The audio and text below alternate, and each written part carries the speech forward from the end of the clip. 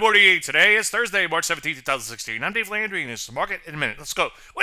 Piece of decent day, up a little more than half of a percent. As you see, working their way nicely higher. Unfortunately, with back chart way out, still looks like they're in trouble longer term. You know routine, don't take things one day at a time. The same thing goes for the NASDAQ. Take a look at the Russell 2000, a little bit more obvious there, especially if you look at like a weekly chart.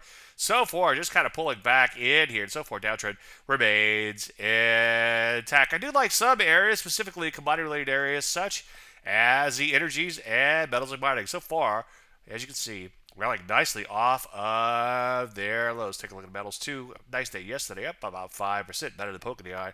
That's what I say. I'm to flesh all this out, plus a lot more stuff later today in the chart show. Also have another webinar later today for London Investment Week. I'm participating in Round the Clock Trader. See my website for all that, and I hope to see you there. Any questions? As usual, Dave at DaveLandry.com. I'm Dave Landry, and you start the market minute.